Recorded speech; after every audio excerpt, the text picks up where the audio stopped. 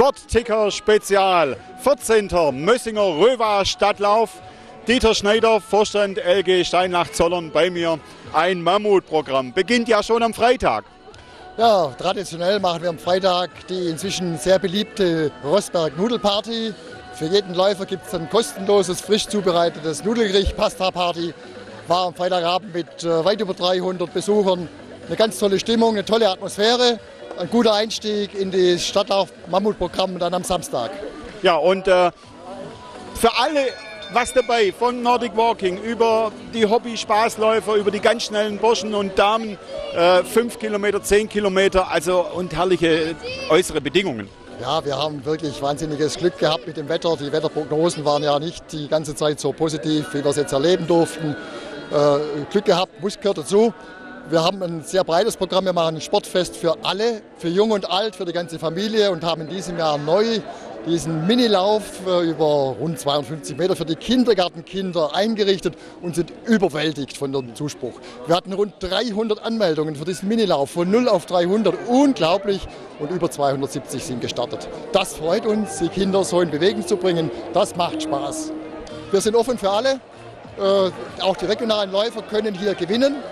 Äh, so wie Daniel Noll im letzten Jahr als äh, Stadtlaufsieger 2016 ist er wieder am Start, will seinen Titel verteidigen. Die Judith Wagner, Siegerin letztes Jahr, ist leider erkältet, wäre gerne wieder gekommen. Und jetzt schauen wir einfach mal, wer vorne mitmischt. Jeder ist willkommen, jeder soll das geben, was er kann und Spaß haben und äh, seine Leistungen abrufen. Hauptlauf kurz vor dem Startschuss durch Oberbürgermeister Michael Bolander. Die ersten Reihen gespickt mit Ausnahmekönnern, aber auch viele, viele Laufbegeisterte. Jedoch etwas weniger ambitionierte Athleten fanden den Weg hinter die Transponderlinie. 350 Damen und Herren, laut Meldeliste bereit für den Rundkurs.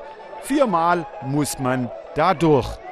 Zehn zum Teil zähe Kilometer. Über 1600 Starter, insgesamt eine logistische Meisterleistung.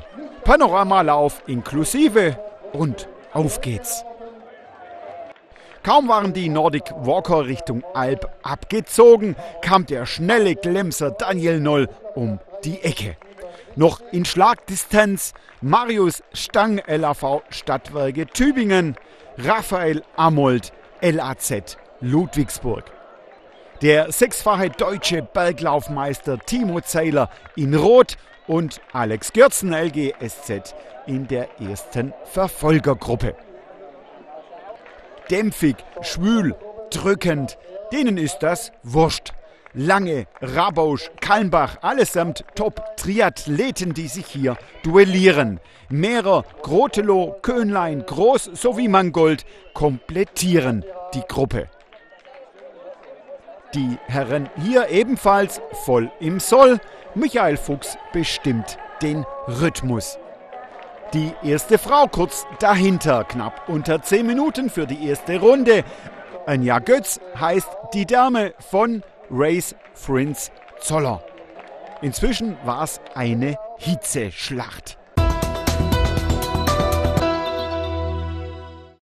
Jede Menge Badespaß für die ganze Familie gibt's im Freibad Mössingen mit einer 93 Meter langen Riesenrutsche, dem 50 Meter Kombibecken für Schwimmer und Nichtschwimmer, dem abwechslungsreichen Eltern-Kind-Bereich mit Planschbecken und Matschgelände und viele mehr. Jetzt auf ins Freibad Mössingen.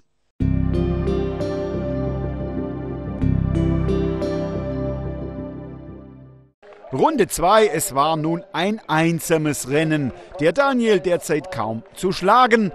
Zu gut seine Verfassung, zu gut seine Technik. Die Anerkennung erfolgte nun in gebührendem Abstand. Die kämpften um jeden Meter. Zeiler Görzen. Die Trias fast unter sich. Der mehrfache deutsche Mannschaftsmeister Tim Lange übernimmt in der Verfolgung die Führungsarbeit. Anja Götz mit großem Abstand, ebenfalls souverän. Franziska Schrader geschlagen, aber trotzdem klasse unterwegs. Ich kann mich nur wiederholen, die Damen und Herren hier allesamt topfit, gut durchtrainiert. Die beiden sowieso Handballlegenden Axel Kromer, Markus Gaugisch beim Heimspiel.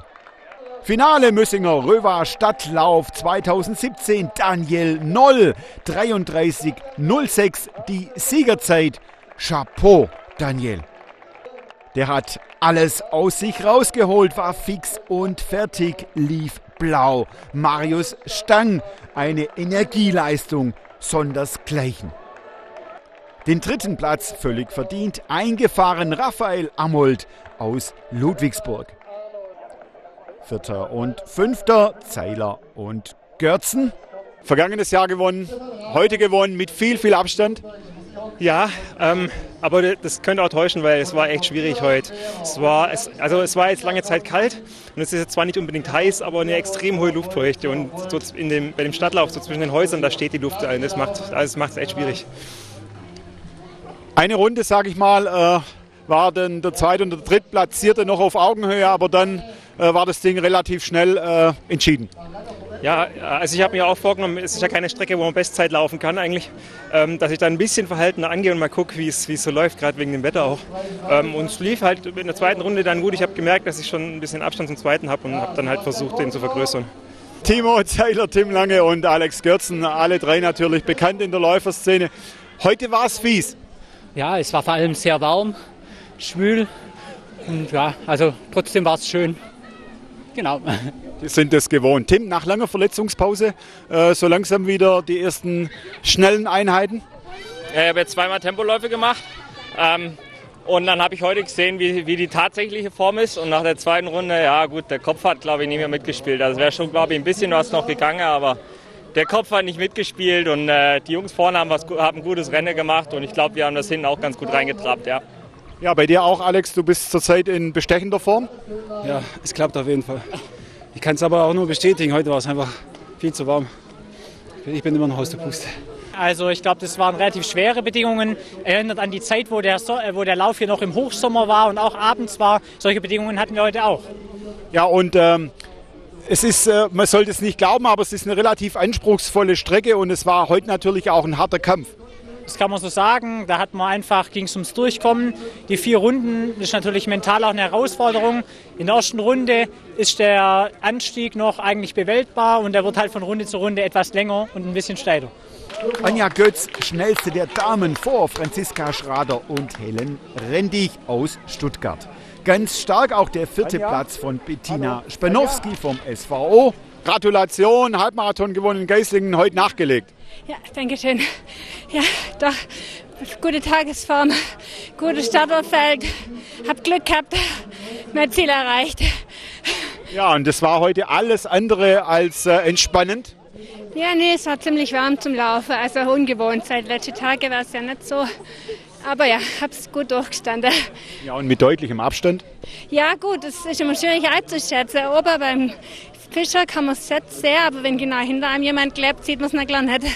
Aber ich habe tapfere Unterstützung am Rand gehabt. Die haben immer wieder gesagt, der Abstand ist nicht groß genug. Es war sehr schwül und ja, eigentlich zu wenig zum Trinken gehabt auf der Strecke und war recht heiß. Ja, und ihr seid ja die langen Distanzen gewohnt, das kann man ja so sagen. Hawaii steht vor der Tür, oder? Ja, wir hoffen es und äh, das sind ähnliche Temperaturen, wahrscheinlich noch ein bisschen wärmer. Deswegen war es heute schon ein gutes Training für dort und wir hoffen, dass wir in Frankfurt beide die gemeinsam die Qualifikation dann schaffen. Ich habe es ein bisschen unterschätzt. Die Schwüle, es war sehr drückend und dann den Berg hoch zur Brauerei äh, habe ich dann schon in der ersten Runde gemerkt, dass ich das Tempo, das ich vorhatte, heute nicht drauf habe. Und das war, ich hatte vor knapp unter 40 und das hat nicht gereicht. Und da muss man schon, schon beißen heute. Aber das ging alles so. Ich laufe immer mit einer Schulmannschaft, weil es ja diese Mannschaftswertung gibt. Und mal sehen, letztes Jahr waren wir Vierter, was dieses Jahr drin ist. Und dieses Jahr konnte ich noch mehr äh, ja, begeistern dafür. Und wir sind heute zehn Leute, waren wir noch nie, für die, für die Mannschaftsmeisterschaft. Tolle Sache. Da kann ich nur sagen, weiter so. Gute Saison. Ja, Dankeschön. Mit der Lebensphilosophie von Stefan Rabosch darf ich mich von Ihnen verabschieden gute Restwoche schon mal, sowie ab und zu mal dran denken. Le mouvement, c'est la vie.